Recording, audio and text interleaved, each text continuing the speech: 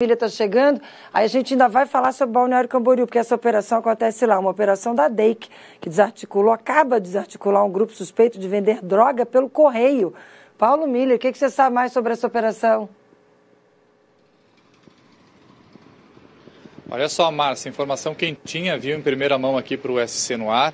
É a operação que a DEIC é, fez agora pela manhã, não tem um nome essa operação, né? O que a gente tem de informações já, daqui a pouco a gente vai compartilhar inclusive as imagens, que é uma investigação da Delegacia de Repressão a Entorpecentes, que é uma, uma delegacia especializada da DEIC para combate a esse a, a crime, né, envolvendo drogas, envolvendo entorpecentes. E aí se investigava que um grupo de Balneário Camboriú estava vendendo drogas e encaminhando essas drogas pelo correio, fazendo essas entregas pelos correios. O que, que aconteceu? A DEIC pediu então na justiça é, é, a prisão dessas pessoas e mandado de busca e apreensão. A justiça não concedeu o mandado de prisão, mas concedeu o de busca e apreensão. E aí a DEIC foi lá cumprir agora pela manhã esses mandados de busca e apreensão. A gente tem as imagens do que os policiais encontraram num apartamento, num, num endereço, na rua 500, no centro de Balneário Camboriú. E ali, então, com, depois que a, a, polícia flagrou todo esse material aí que a gente está tá vendo, né?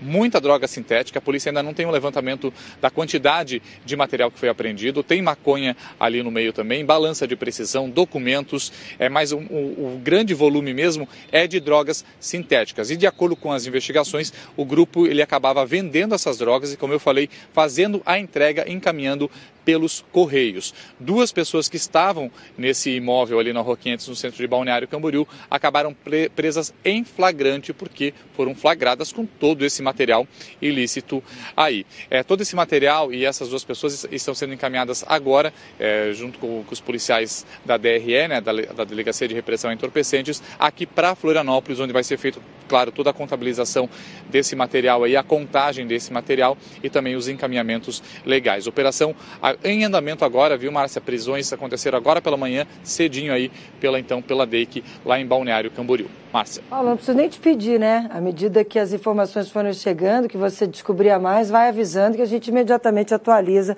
o nosso telespectador. É muita cara de pau, né? É, muito, é acreditar muito na impunidade. Mandar droga pelo correio é um deboche.